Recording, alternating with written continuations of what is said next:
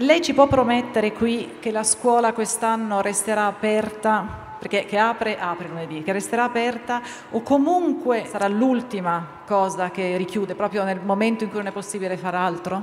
Sì.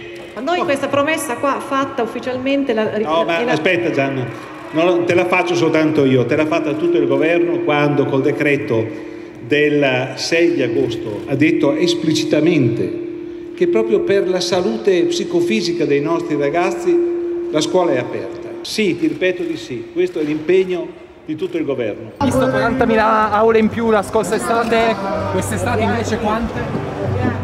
Noi abbiamo fatto quest'anno 58.900 assunzioni di ruolo e 13.000 li abbiamo messi in un percorso di un anno che avrà il concorso l'anno prossimo.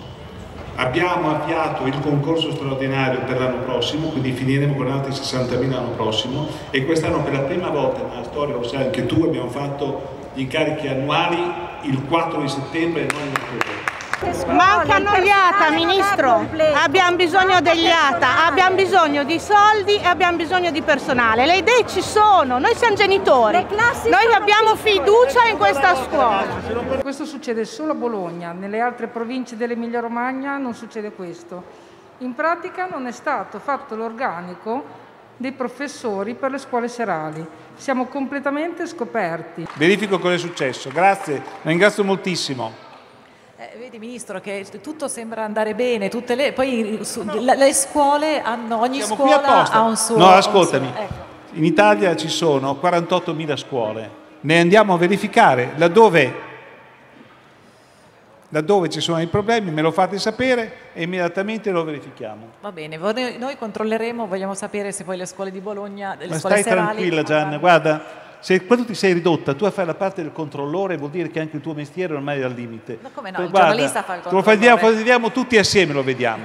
Va Ci bene. controlliamo tutti assieme in questa città, non abbiamo bisogno di controllori. Chi è stato assessore in Emilia Romagna alla scuola negli ultimi die- Chi è stato assessore in Emilia Romagna alla scuola negli ultimi dieci anni? Che non ha mai sanato delle problematiche che sono, non sono, che sono nate oggi, sono strutturali. Eh, lo- lo sa, benissimo che è stato l'assessore. Sono stato io l'assessore. Abbiamo avuto due promesse dal Ministro, che la scuola non chiude, che risolverà queste questioni... No, no, aspetta Gianni, scusami un istante, perdonami, anche le parole hanno un senso. Non sono promesse, sono impegni di tutto il governo. Benissimo, C'è una benissimo. differenza fra la promessa e l'impegno. Questo è un impegno che si è preso il governo nel suo insieme.